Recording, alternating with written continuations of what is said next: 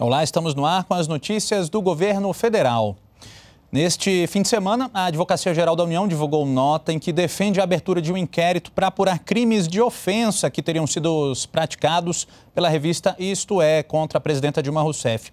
Na edição desta semana, a publicação traz um texto que trata de supostos casos de descontrole emocional da presidenta. No comunicado, a AGU afirma que vai pedir ao Ministério da Justiça a abertura de uma investigação. Informa que advogados particulares da presidenta também estudam medidas para o ressarcimento por danos morais. A Advocacia Geral da União divulgou nota informando que vai acionar o Ministério da Justiça para que determine a abertura de inquérito para apurar crime de ofensa contra a honra da presidenta Dilma Rousseff cometido pela revista Isto É em reportagens publicadas nas últimas duas edições. Segundo a nota, a AGU também invocará a Lei de Direito de Resposta para garantir junto ao Poder Judiciário o mesmo espaço dado pela revista à difusão de informações inverídicas e de acusações levianas. Ainda de acordo com a nota, eventuais ações judiciais de reparação de danos morais também estão sob análise de advogados privados da presidenta Dilma Rousseff. De Brasília, Ney Pereira. E pela quarta semana seguida, o mercado baixou a estimativa de inflação. A previsão dos analistas para o IPCA deste ano passou de 7,31% para 7,28%. As informações apuradas na semana passada foram divulgadas hoje pelo Banco Central e constam no relatório de mercado da instituição, o Boletim Focus. O levantamento foi feito com mais de 100 instituições financeiras. Para 2017, a estimativa dos economistas para a inflação permaneceu estável em 6%, exatamente no teto da meta do governo para o período. No próximo mês de agosto, estudantes de medicina de todo o Brasil farão pela primeira vez a prova de avaliação obrigatória, que será realizada a cada dois anos. Outra medida de, é outra medida de garantir a qualidade da formação dos médicos que atuam no Brasil e tem registrado aumento da procura. É o Exame Nacional de Revalidação de Diplomas, expedidos por instituições de ensino superior estrangeiras. 54% dos profissionais que se submetem ao Revalida são brasileiros. O número de inscritos no Revalida vem aumentando a cada ano. Na última prova, 4.280 candidatos se inscreveram.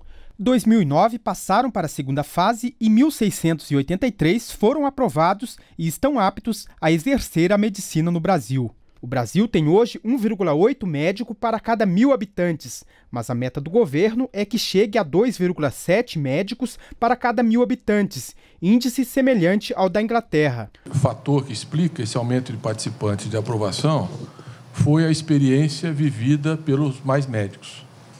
Porque esses médicos, eles eram diplomados, mas com mais médicos eles puderam exercer a medicina na atenção primária, com supervisão e formação continuada. Eles tiveram um processo de formação e de supervisão no exercício do, do, da, da, experiência médica no âmbito do mais médico. E isso é, seguramente contribuiu para que eles aprimorassem a sua formação originária e tivessem o um melhor desempenho.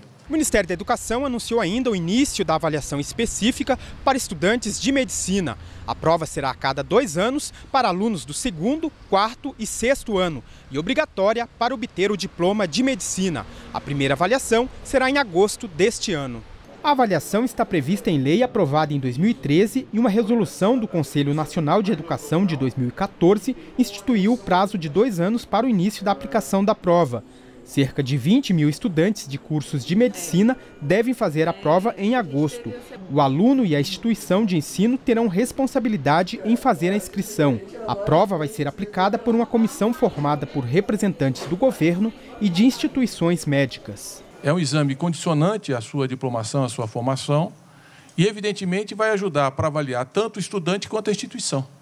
É uma avaliação muito mais completa. E é uma avaliação que permite você corrigir ao longo do exercício da formação. E o Ministério da Saúde lançou um protocolo para incentivar o parto normal no Brasil. O país está entre os países com um número recorde de cesarianas. Em média, quase 60% dos partos realizados são desse tipo. O governo brasileiro considera esse índice uma epidemia. Segundo o Ministério da Saúde, são vários os motivos que levam a esse número exagerado de partos cirúrgicos, como a falta de disponibilidade do médico, de leitos nos hospitais e até uma questão cultural. O protocolo diz que, em situações de risco, a cirurgia é recomendada, como prevenir a transmissão do vírus da AIDS da mãe para o bebê ou para mulheres que tiveram herpes no último trimestre de gestação. O texto também lembra que uma cesariana feita sem necessidade pode provocar danos à saúde do bebê, aumentar os riscos de problemas respiratórios e até de morte. Nós ficamos por aqui. Continue na NBR, a TV do Governo Federal.